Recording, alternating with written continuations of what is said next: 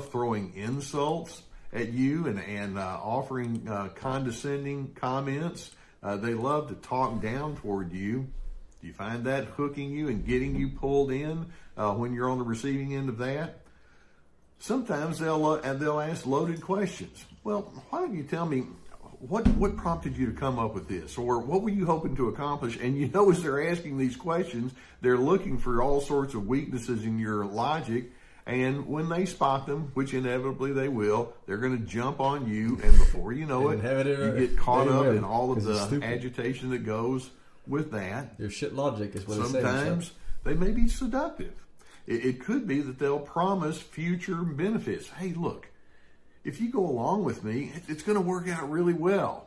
And then you do, and it's like, oh, they're not they're not interested in things going that well. They were just using me for their temporal gain. Or sometimes they may be complimentary. You know, you're, you're a fine person. Now come, do my bidding for me. And as you do, then later on you realize it was all fool's gold. That's not what they think, but they, they're willing to manipulate me in that way. They have their different ways of setting their hooks with you. Sometimes these narcissistic individuals will hook you by shunning you and going into the harsh, punishing withdrawal uh, kind of treatment.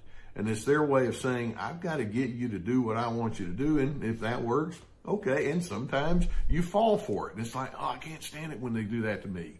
And it's like, yeah, I know. That's why I did it.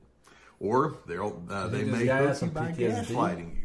Uh, keeping in mind that gaslighting is their uh, tactic where they try to keep PTSD. you confused about your interpretations. Like, did, did that really happen? Or are you sure you remember that correctly? And before you know it, you let go of your sense of resolve, and that's what they're looking for. Uh, they simply want to create ongoing flustered feelings inside of you. And, uh, and the more you're over there just thinking, I don't know what to do. This bothers me. This, uh, this just uh, gets under my skin so much uh, as long as they keep you dysregulated, then that's their hook and that's their way to try to keep power over you. And before you know it, you're becoming a person that you don't want to be. Now, if you've been around a narcissist for any length of time, whether it's the person you live with or someone inside your extended family or work or social circles or wherever, you know that they'll play these bait, and bait games all day long.